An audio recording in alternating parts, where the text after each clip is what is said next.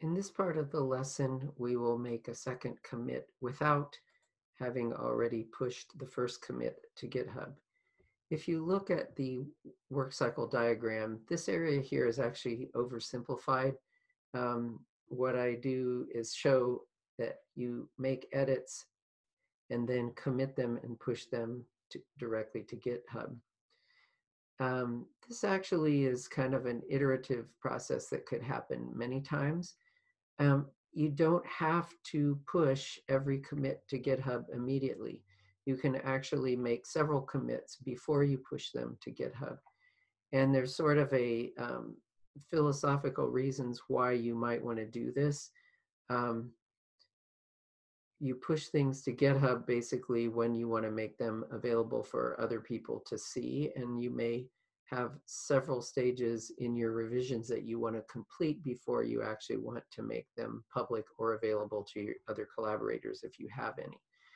Um, the idea of a commit is really each particular problem that you are trying to solve in the uh, management of your project should have a separate commit. So a commit is basically, should be thought of as a distinct stage or a distinct uh, problem that you are solving. And if you think about the purpose of commits, which is to uh, be a point in time that you can go back to, then you, you really want to mark each stage that you might want to move back and look at with a separate commit. So in this example, we will be making uh, a second commit, and then we'll push both commits up to GitHub at the same time. I think that I forgot to say that you should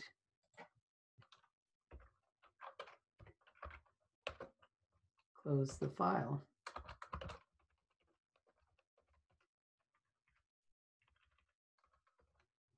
So let's go ahead and save that. That looks like pretty good instructions.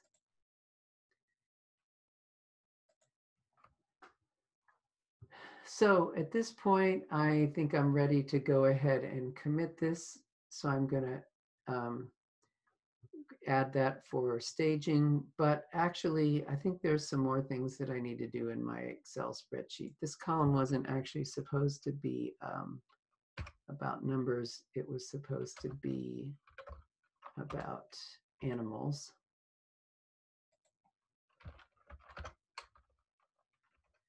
So I'm going to go ahead and save that.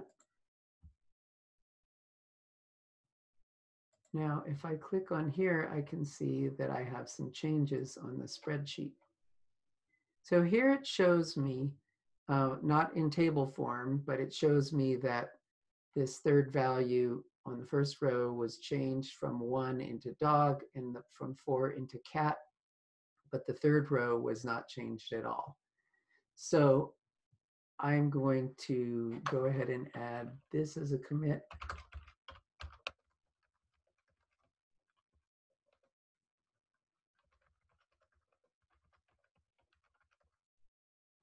Now I'm ready to go ahead and create a commit with both of those things.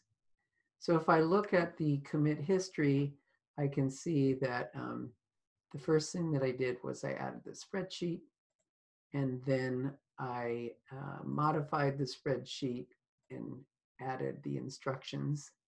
And also you can see that it says here I have now two commits that need to be pushed up into the cloud.